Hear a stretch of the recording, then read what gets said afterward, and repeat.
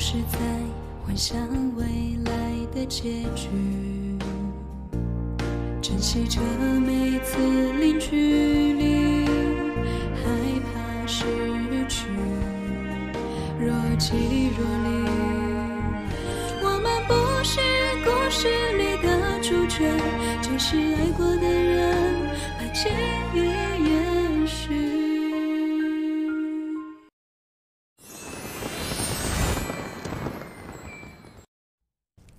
位爷，您说茶有味儿，给您重沏了。哎，您又说菜不干净，也给您重换了。你还想怎么着？小姐，怎么回事啊？来了一个很难缠的客人，一会儿说我们茶是隔夜的，一会儿又说我们菜没洗干净，这会儿闹得正欢呢，花姐拿的没辙。若是差钱，您就直说。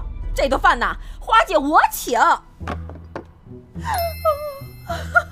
但凡今日花满楼能够做出一道令本大爷满意的菜，这银子就归您了。这位爷，稍等片刻，这就给您上招牌大菜。这位是？我乃花满楼吉祥物，兼花魁，兼首席大厨，兼营养师师爷。哼，好。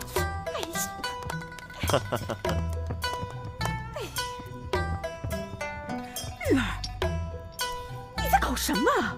花姐，是时候展现我真正的技术了。真的，玉儿亲自下厨，你没看错，千真万确。哼，走去看看。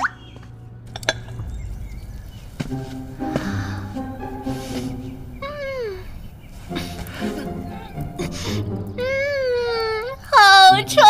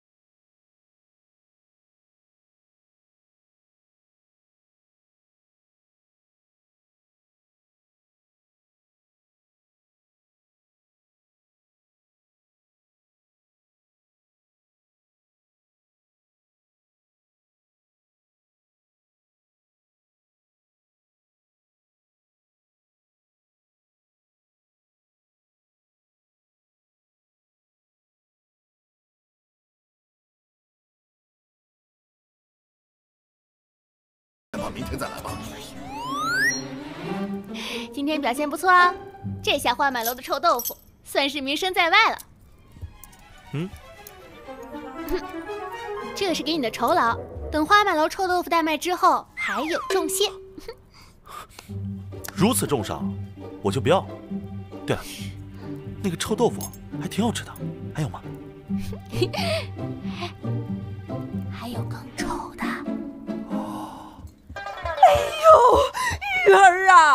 你是疯了吗？放着大把的银子不要，你说什么卖完了？花姐，你知道饥饿营销吗？啊？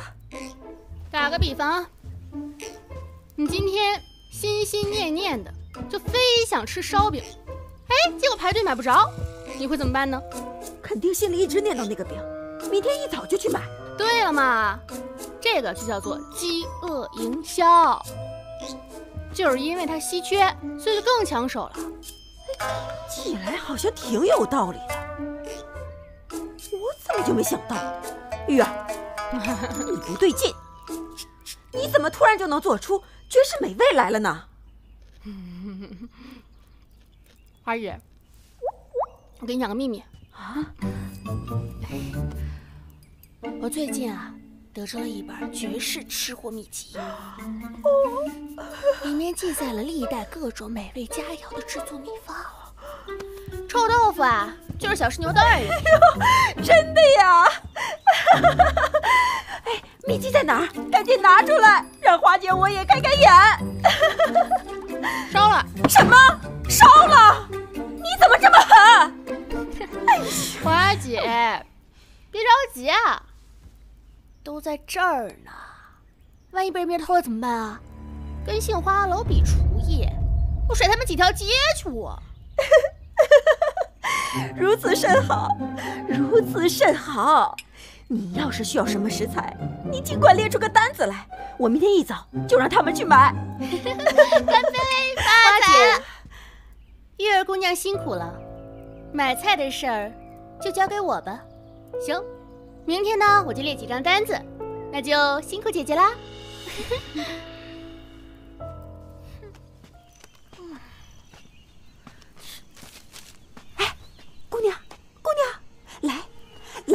想干嘛？哎呀，借一步说话。你不认得我？这次比赛，你若是帮了我，姐姐一定不会亏待你的。到时候你就是我杏花楼的花魁，姐一定让你吃香的喝辣的。你说是真的，牛姐？那以后那个小贱人就要给我端茶倒水了。那是自然呐。